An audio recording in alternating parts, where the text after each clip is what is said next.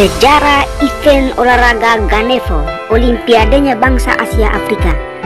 Demi menandingi Olimpiade, Soekarno membuat pesta olahraga untuk negara-negara non-blok. Sejak pagi, publik Jakarta berbondong-bondong datang ke stadion utama Gelora Bung Karno. Mereka jalan menuju Jalan Sudirman yang berhiaskan ratusan umbul-umbul dan bendera merah putih. Kendaraan berjajalan. Lautan manusia tak terhindarkan, maklum tiket masuknya gratis. Pukul 3 sore, stadion sudah dipenuhi 100 ribu penonton. Di luar gerbang tak kalah ramai. Satu jam kemudian Presiden Soekarno tiba menggunakan helikopter. Dimulailah rangkaian acara pembukaan pesta olahraga akbar bernama The Games of the New Emerging Force atau GANEVO. Satu persatu kontingen tiap negara berparade defile sambil disambut riuh riah penonton. Lalu seorang atlet Indonesia Harun Al-Rasid berlari membawa obor untuk menyalakan tungku api Ganevo. Api berkobar dibarengi pergerakan bendera dan nyanyian himne Ganevo. Acara seremonial yang tidak asing namun bermakna besar bagi para peserta. Soekarno naik ke podium. Suasana tiba-tiba hening dengan satu kalimat singkat dalam tiga bahasa yakni Indonesia, Inggris, dan Prancis, Soekarno menyatakan, dengan ini Ganevo saya buka. Suara meriam menyambut, balon-balon diterbangkan ke langit, ribuan merpati lambang perdamaian terbang mengepakkan sayap, dan para penonton bersukaria. Setelah resmi dibuka pada 10 November 1963, cabang-cabang olahraga mulai dipertandingkan. Para atlet dari 51 negara berlaga memperebutkan medali. Diinisiasi Indonesia, Ganevo bukan hanya pesta olahraga semata, namun juga sarana pertukaran budaya di antara negara-negara berkembang di dunia yang hubungannya telah dibina sejak Konferensi Asia Afrika 1955.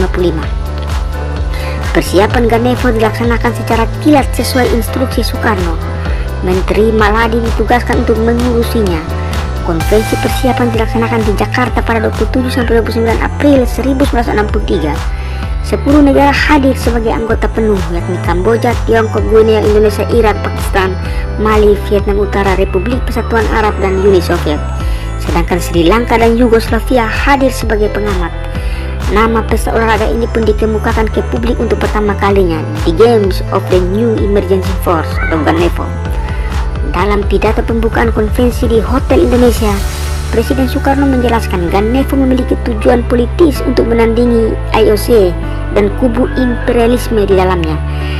Dia tidak menentang idealisme Olimpiade sebagai sarana persatuan perdamaian dan persahabatan antar manusia di seluruh dunia.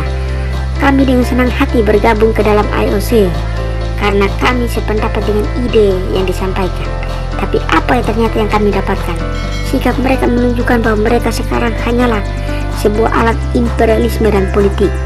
Kami punya pengalaman pahit dengan Asian Games Bagaimana perasaanmu, komunis Cina, ketika kamu dikucilkan dalam olahraga internasional hanya karena kamu negara komunis? Ketika ketika mereka tidak bersahabat dengan Republik Persatuan Arab karena mereka mengucilkan Korea Utara, ketika mereka mengucilkan Vietnam Utara, bukankah itu keputusan politik? Kecam Soekarno. Kegiatan Ganevo didasarkan pada semangat konferensi Asia Afrika di Bandung dan idealisme Olimpiade yang sejati bertujuan mempromosikan kemandirian perkembangan kebudayaan berolahraga di seluruh negara-negara Nevos, menstimulasi hubungan baik di antara pemuda-pemuda Nevos, serta mempromosikan jembatan persahabatan dan perdamaian dunia pada umumnya. Dan Nevo pertama dilaksanakan 10 22 November 1963 di Jakarta dengan Indonesia sebagai panitia pelaksananya. Ada tiga program utama yakni ajang kompetisi olahraga, pesta seni, dan tur delegasi ke beberapa wilayah Indonesia. Sementara Jakarta bergegas bergegas mempersiapkan Ganevo IOC mengamati gerakan ini. IOC dan Federasi Internasional tidak dapat menoleransi pergerakan olahraga yang terang-terangan bertujuan politis, terutama yang ingin menyaingi Olimpiade.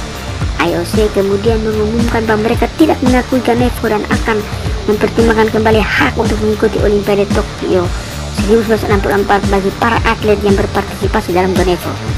Indonesia tak bergeming dan tetap melayangkan undangan ke negara-negara berkembang di Asia, Afrika, dan Amerika Latin.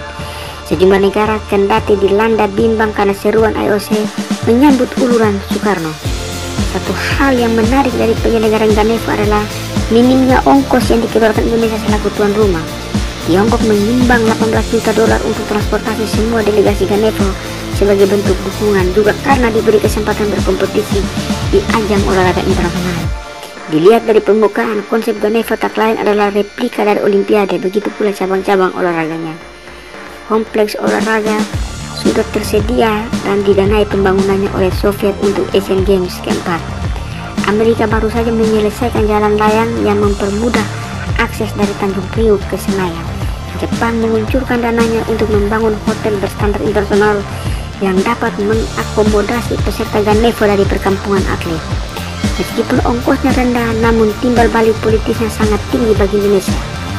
Gencarnya pengaruh dari Uni Soviet dan Tiongkok mengundang kritik. Indonesia saat itu begitu dilematis. Ekonomi dalam negeri sedang hancur namun di sisi lain Indonesia ingin bangkit sebagai pelopor dunia ketiga.